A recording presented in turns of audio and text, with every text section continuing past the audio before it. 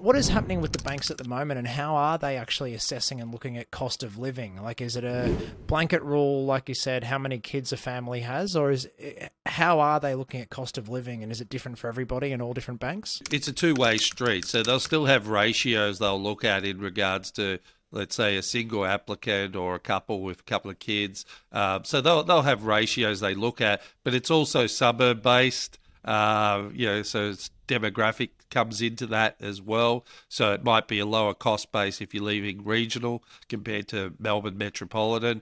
But then they'll also look at what your actual spending is over the last three months as well, going through your statements. Now, not all lenders will do that. There are some lenders that don't require uh, the three month statements, but there's a lot of lenders that will have a look at that and just make sure it's in alignment with those ratios to do, do the due diligence as well.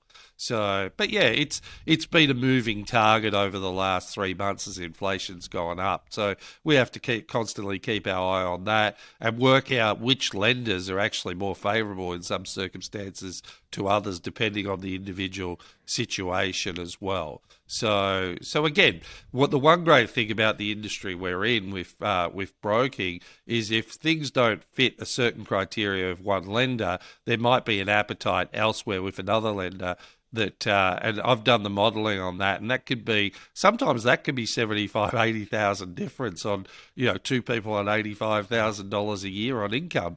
So so it's really just looking at the individual circumstances and making sure the client's best positioned for their circumstances when we go and research the various lenders. So